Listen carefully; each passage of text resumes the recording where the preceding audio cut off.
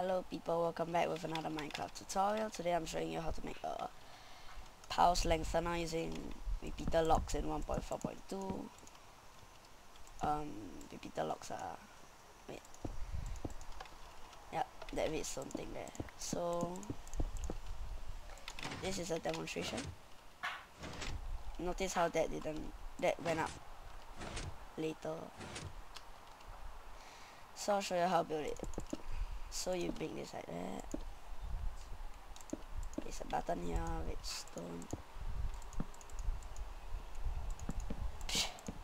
Okay. Make a redstone circle. Make sure this on three ticks not four. And do this.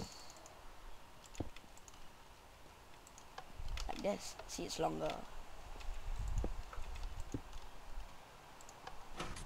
Longer than a normal pulse so yeah that's how I build it. This is a demonstration that you can lengthen it much much much more.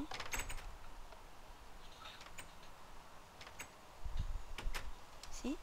That's a really long pulse look at that down. It's a very very long pulse